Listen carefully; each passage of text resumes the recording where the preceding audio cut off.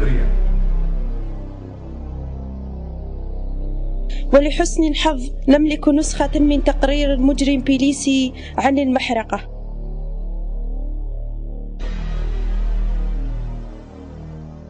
سيدي الماريشال لقد أتيتك كما علمتكم من قبل في رسالة مؤرخة في 16 جوان تحت الرقم خمسة لإقامة معسكر في ولد بن عمرية عند قبيلة ولد رياح. وهم أنصار الشريف بومعزة قائد مقاومة شعبية في جبال الظهرة لقد حددت اختياري وقررت أن أزحف ابتداء من فجر اليوم الثاني عشر جوان على غار فراشيش.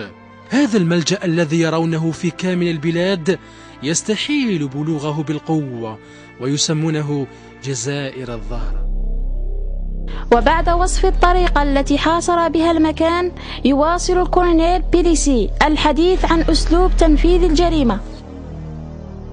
دعوت الفضوليين الذين يتجمعون ويلتفون في مثل هذه الحالات للابتعاد وأمرت الكابتن راون أن يستدعي رجال السخرة الذين التحقوا قبل ثلاث ساعات بفيالقهم. كانت الساعة قد تجاوزت العاشرة بمجرد أن هممت بالانسحاب انطلقت رصاصة من المغارة لتصيب قناصا من وراء أورليو. وعلى الساعة الواحدة كانت المراكز جاهزة للعمل ولم أشأ أن أستأنف إحراقهم قبل إنذار جديد. أرسلت إليهم عبر المدخل السفلي وهو المنفذ الأقل خطورة. أرسلت إليهم عبره أحد المفاوضين الثلاث الأوائل والذي ترك المغارة مع أخيه رغم تردد الآخرين. حينها بقيت خمسة أرباع الساعة معهم. دون أن يتزحزح أدنى تنازل وبلغت أقصى حدود الصبر.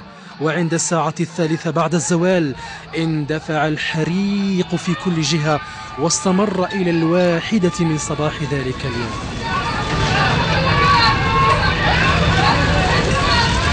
فهموا هنا راكم تشوفوا الحريق. هذا الحريق دار لهم الكبريت ودار لهم النار. ودار لهم l'essence ودار لهم واحد ال واحد ال produit يسموه آه، فيه لاوي وحرقوهم. ولسوء الحظ في هذيك الليلة هذيك كانت الليلة كان فيها فيها الريح. فتبع الريح هذا راه ساعد ال- الالسنه النيران باش تدخل يعني والدخان إلى آخره باش ي- يدخل في ال- يدخل للمغارب هو أبوي الله يرحمه.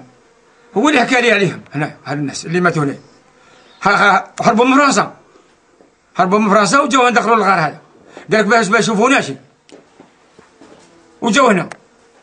جا لهم البياع ولا سادة ولا جاو لهم هذيك الساعة هذيك. قالوا بلي ها راهم راهم هربوا. في الغار فلاشي جات لهم فرنسا هذيك. ايوا يحسوا فيهم يحسوا فيهم ما خرجوش. من ما خرجوش هماني قطعوا الزرب هذا والقدور والعرعار وكل شيء. وداروا في فم الغار ها ولا- تدخل هنا دخل ها الدخان شاء هو تاع ال- تاع الكبريت.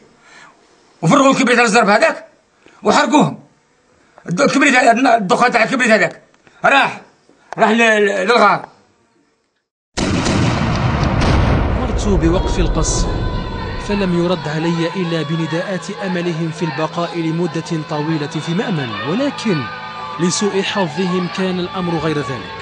فلقد سببت كثرة النيران في المغارة من الناحية السفلى دفعا قويا للدخان والهواء